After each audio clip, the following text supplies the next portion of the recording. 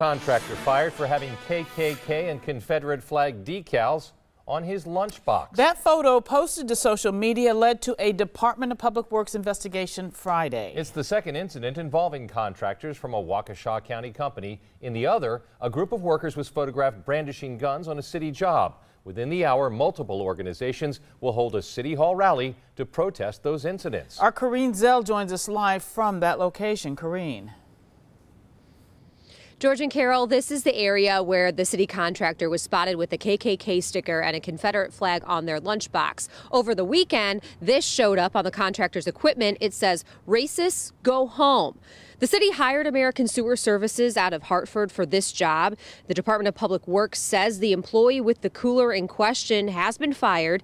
This is the same company with employees caught on camera holding guns on a job site at 19th and Meinecke. The contractor is also believed to employ the person who sent racial messages to council members. American Sewer Services says they're working on updating their policies to stop anything like this from happening again. City leaders are drafting a resolution to ban guns from subcontractors on the job. This is not just, it's not going to be tolerated within the city limits of, of the city of Milwaukee, especially when taxpayer dollars are being used to pay for this work.